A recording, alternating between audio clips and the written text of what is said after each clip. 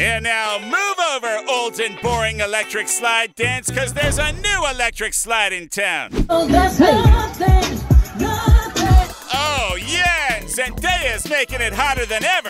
Timothée Chalamet and Zendaya, they both attended her assistant's birthday party. It was wild.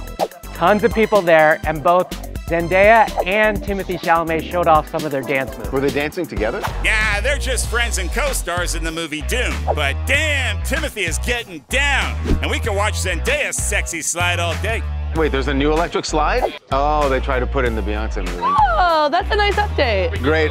Another dance I can't do. Don't even try. We're still recovering from your attempt at the bust down. Oh, God, make it stop. Quick, back to Timothée. Everyone's going crazy about this. He got the move. He actually got a little swag. Okay. He's gonna be invited to the barbecue next time. He is invited to the barbecue. It's literally a barbecue with this guy's family. They have red solo cups. There's a grandma. That checks out, yeah.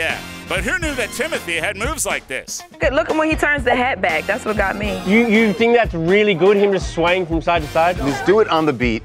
That's half the battle. You kind of expect a skinny guy not to have moves. Like Charlie dancing would be like very strange. No, I've seen Charlie dancing outside of uh, car dealerships all the time. Hey! 2015 Toyotas. So thanks, Zendaya and Timothée. Dance us out of here.